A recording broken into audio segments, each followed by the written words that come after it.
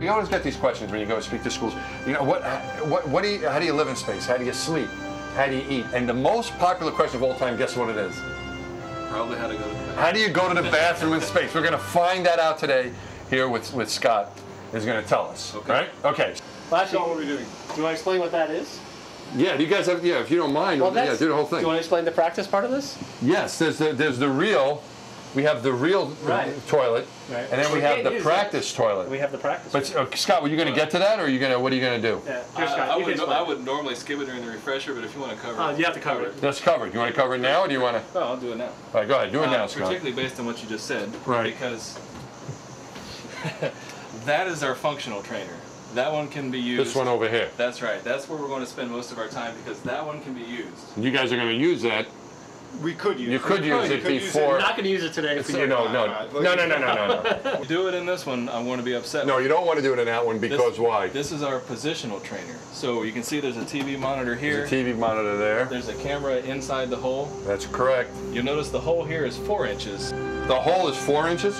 whereas a normal toilet seat is more like 12 or 18 inches. What's a normal? You mean like the one you have in your house? That's right. All right.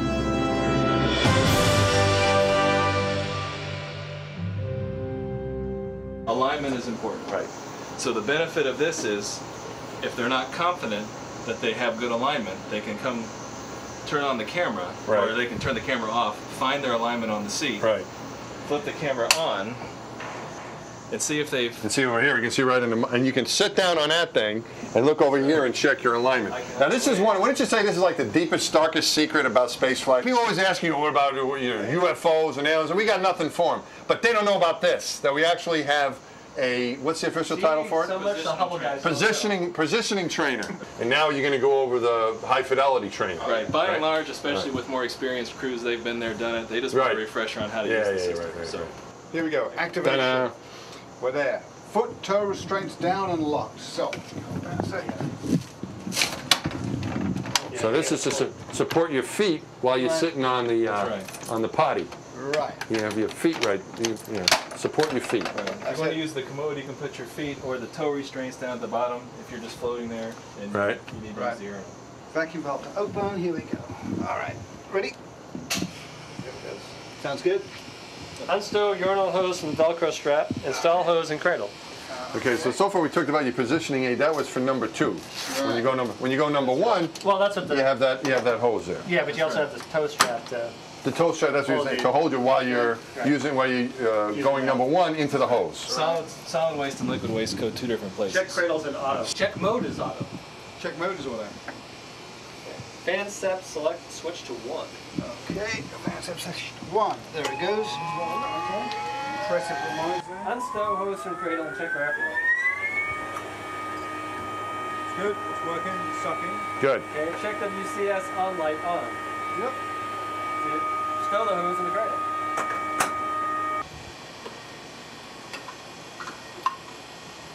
Okay.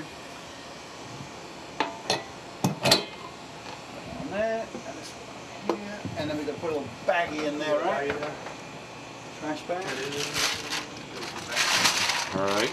This little baggie, uh, the air can suck through the bottom of this so that whatever you throw in here sort of gets sucked down into the bottom of the bag. hydro. Yeah, Hydrophobic. yeah. And we put that bag, and that's where your toilet paper is going to go. Okay, Because hand you don't put hand wipes. hand every- every wipes. You don't put any paper in the bowl. No, Only right. solid waste in the bowl, and all your paper and hand wipe stuff goes in there. Do that, that's And then you, when you're done, you tie it up, throw it away, and put it in. Elbow bag. Elbow bag, let's see. Um, Steve already pointed it out. You guys are flying all male funnels. Yes. But for the Since sake, they're all guys. for the sake of observation here, male funnels don't have any venting. Uh, Steve already mentioned the whole unit works on air. Uh, female crew members have three choices for their anatomy-based uh, funnel choices, and they're all vented. The difference is, for women, we want their anatomy against the funnel, but we still need the airflow. For men, we do not want them docking to the funnel.